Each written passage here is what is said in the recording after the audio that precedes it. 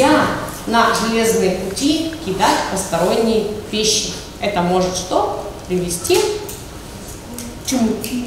Ответы на эти вопросы подскажут герои мультфильмов. Сотрудники РЖД совместно с сибирской медиагруппой организовали нескучный урок. На примере известных мультфильмов школьникам рассказывают о правилах поведения на железной дороге. Например, почему поезд не может быстро остановиться.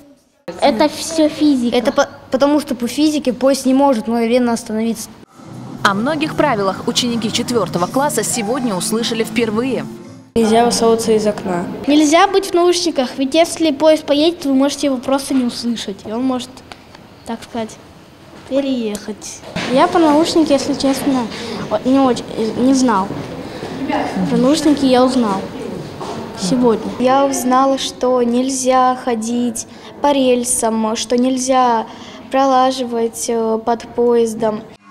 Именно в таком игровом формате детям больше всего запоминаются жизненно важные правила. Поэтому сотрудники РЖД решили проводить подобные уроки безопасности в школах, детских садах, а также они проводят беседы о безопасном поведении на станциях и в поездах.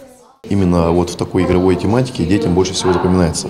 Это их э, стезя, где э, они все быстро впитывают. То, что визуально им э, кладется в их сознание, оно, скажем так, больше эффекта принесет для того, чтобы они это вспомнили потом, когда наход- будут находиться на железной дороге.